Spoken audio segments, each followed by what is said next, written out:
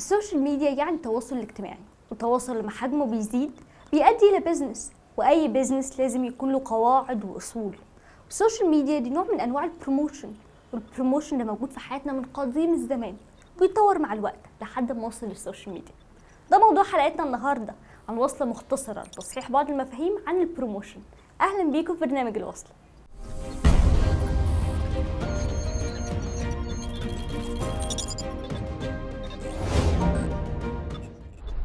لو انت محترف قوي في تقنيات ال social media بس مش محترف تسويق ممكن تنجح ال business بتاعك؟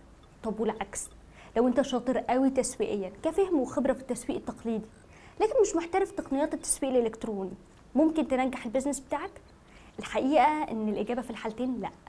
ال social media هي وسيلة ليها أدوات تقنية لابد احترافها لكن لازم تستخدمها وانت فاهم تسويق بشكل كبير واعلام حتى لو بدرجة أقل. نقدر نقول إن ال social media هي مكبر صوت كل ما مدى صوته كان أكبر كل ما وصلت للناس أكتر. ومدى الصوت ده عشان تزوده يا هتتجه للإعلانات المدفوعة أو هتعمل ترند وتشتغل تسويق فيروسي. ولكن خلي بالك اللي أنت هتقوله في مكبر الصوت ده لو عملته من غير قواعد تسويقية ومش محدد أنت بتقوله لمين وإزاي وبتقوله بناء على إيه أنت ممكن تتضر أكتر ما تستفاد. زي ما قلنا إن ال promotion موجود من قديم الزمان هرجع بيك للزمن لورا شوية. زمان في الأسواق كان بيقف راجل بسيط لبيع بعض الاواني وينادي بصوت جهوري أفضل الأواني أفضل الأسعار. ويحاول ان يقنع كل اللي بيمر في السوق ان بضاعته هي الأفضل عشان يشتروا منه. مع مرور الزمن أساليب الدعاية تطورت لحد ما وصلنا لل social media.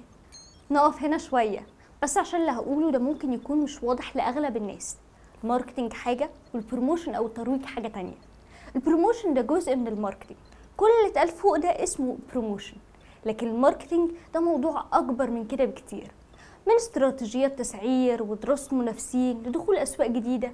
وهتكلم أنا وفريق عمل Core Digital عنه في وصلات تانية بنشوف كل يوم الآلاف من الإعلانات في التلفزيون وفي الشارع وعلى هيئة أوراق بتتوزع علينا وعلى الفيسبوك وباقي منصات ال social media وعلى رسائل التليفون وعلى الواتساب واليوتيوب وجوجل وفي كل حتة. لكن الفرق الجوهري بين كل الإعلانات بيكون في فعالية تأثير الإعلان على العميل المحتمل. وهنا بقى بيجي دور ال marketing اللي هو أوسع بكتير من ال promotion.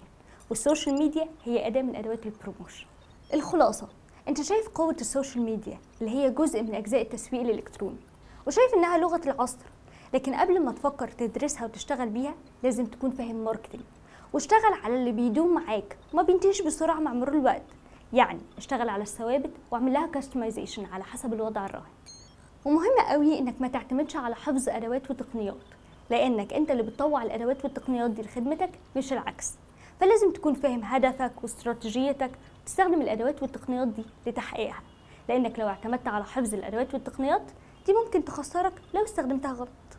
زي ما قلنا قبل كده هتلاقي link في ال description box للباحثين عن فرص عمل وتدريب بتقدمه شركة كور ديجيتال على link coreddigital.com/careers استنونا الاثنين الجاي في وصلة جديدة. اشوفكم على خير وانتوا دايما متواصلين.